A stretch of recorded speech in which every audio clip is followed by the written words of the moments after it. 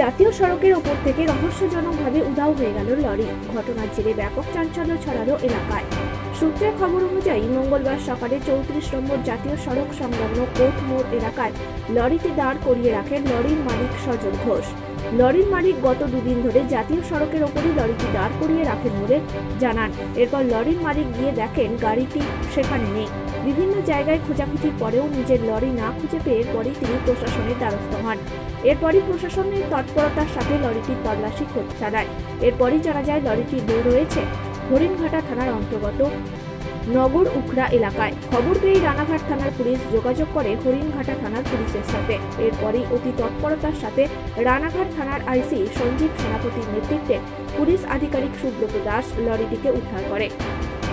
এই ঘটনায় এখন পর্যন্ত চার অভিযুক্তকে গ্রেপ্তার করা হয়েছে বলে জানা যায়। ধৃত ওই চার অভিযুক্তকে আজ রানাঘাট আদালতে তোলা হয়।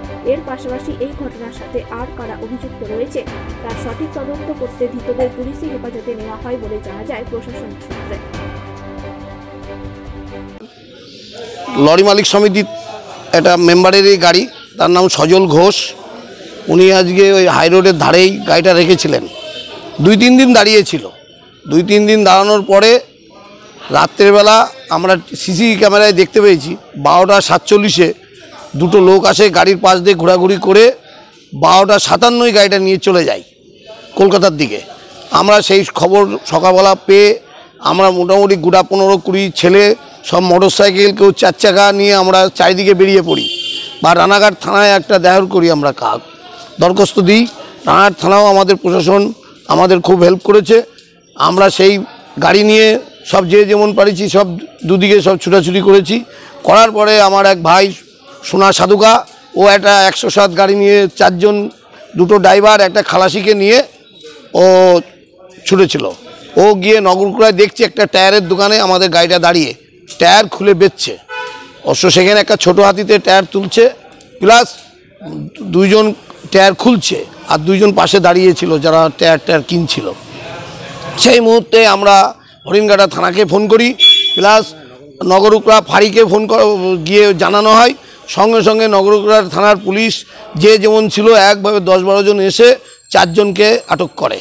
চারজনকে আটক করিয়ার পরে রানাঘাটে আপনার রানাঘাট থানাকে জানানো হয়। রানাঘাট থানার সুব্রতবাবু উনি এখান থেকে ফোর্স নিয়ে নগরুকড়ায় যান। গিয়ে সেই চারটে আসামি গাড়ি রানাঘাট থানায় নিয়ে আসে।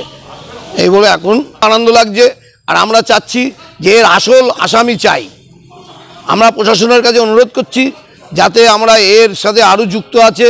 সেই টিমটা আমাদের দীর্ঘদিন ধরে আমাদের গাড়ি আরও গাড়ি চুরি হয়েছে টায়ার চুরি হয়েছে ব্যাটারি চুরি হয়েছে।